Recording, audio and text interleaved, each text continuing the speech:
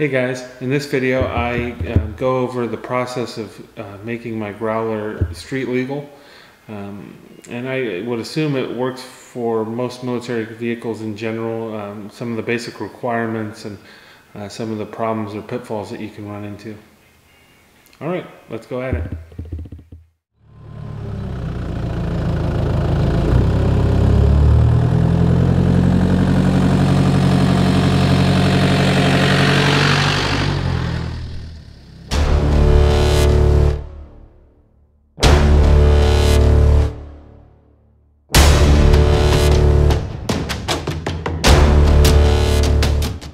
So unfortunately, this does vary from state to state, but there are some basic requirements that most states do agree on. California is probably one of the hardest states that you can try and get something street legal in.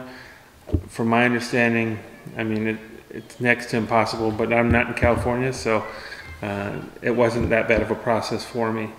Um, so some lists of must-haves. Uh, you must have mirrors, number one. Uh, and I believe at a minimum they want you to have a driver's side mirror and a rear view mirror. And then some states um, might require that you have also a passenger side mirror depending on the visibility of the rear view mirror. Um, you, you need seat belts that are functioning. Um, also a regular round steering wheel that is at least 13 inches in diameter uh, and from my understanding, they won't allow other styles such as uh, butterfly wheel or a joystick type of steering wheel. Um, you need a functioning horn, and from my understanding, it also needs to be audible at least 200 feet. Now, I don't know how often uh, they check that, but that's what I found um, when I was trying to get ready myself to have the growler uh, get plated. Uh, you need a hood, bumper, and fender, functioning brakes, and an emergency brake. Uh, they also want for you to have headlights, brake lights, turn signals, um, tail lights, and reflectors, both rear and side reflectors. Um, you do need a certain amount of ground clearance. I could not find an exact number for that, but essentially they don't want you to be too low to the ground or too high off the ground, uh, which shouldn't be a problem for most military vehicles. Um, you need a speedometer. You need doors that open or at least a space where a door should be.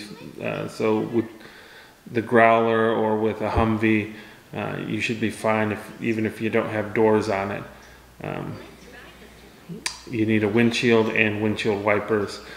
Um, you also need a place for your license plate to go. So you need a license plate holder and it needs to be lighted. Uh, and I believe it needs to be able to be seen from 100 feet. Um, some states also require that you have a front plate. I don't think that has to be lighted, but um, that's one of the biggest things you'll run into with a military vehicle. They don't have plates, you know, and a lot of times they just have spray paint that indicates what it is, or you know, jack points or lift points and uh, tie down points. Uh, so that you know, there's a few ways you can do it. Some places might require that you have one that is bolted on to the frame itself. Um, and you can get hideaway plates that you can kind of tuck it in after um, if you're say at a parade and you want it to look more um, original um, and they also sell magnetic plates and I think it varies on whether they'll let you have something like that um, but it's worth a shot and uh, the nice thing about a magnetic plate is it's easy to adjust it you're not modifying the vehicle. You're not drilling holes in the vehicle, which gives you more chance for rust and things like that. So some of the potential problem areas or pitfalls, um, a lot of times it seems like the BMV, they may not have your make and model on file, um, especially for newly offered vehicles like the Growler. Uh, you know, if you've had somebody who has already um, titled a vehicle in your state. Sometimes they do have that. Um, but uh, when I did it, they needed to call, you know, the main office and, and actually input that information, input that make and model, and um, that way they could actually title it for me um, or um, register it. Um, also, uh, when purchasing, if possible, uh, if they give the option, purchase the full title document. Uh, a lot of times you can order either a bill of sale or a SF97, I believe it is, or you can actually order a full title. Uh, typically costs more, but it's not significantly more. I think it cost me about $150 as opposed to 50 or $100 for the other documents. Uh, but I think it saved me a ton of time and headache. Oftentimes, they'll also want your vehicle to be inspected by a police officer. Um, that way, they can check to ensure that parts aren't stolen. Uh, they'll look for a VIN or a serial number, um, and they may list it as a VIN not present. In that case, you might have to apply for a VIN from the state.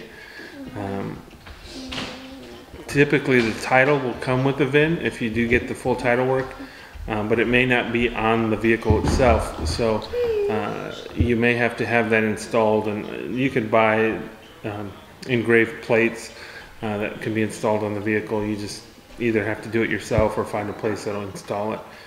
Um, also, it's important that if you do that, a lot of times they want you to have this um, certain type of rivet that has a pattern on it um, that shows that it came with the vehicle.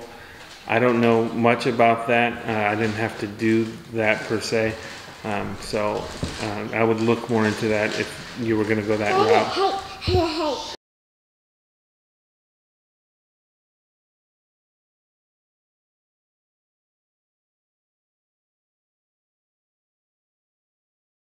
And the biggest thing is just be patient and uh, you know try and work with the BMV and and see if they can get the information put in if it's not already in the system. Uh, you know, cross your fingers and, and hope for the best. And, and, you know, there's a lot of good people that work for those organizations. So, uh, you know, just try your best to keep a positive attitude and, and see if they'll work with you on it. All right. Good luck, guys. Let me know if you have any questions.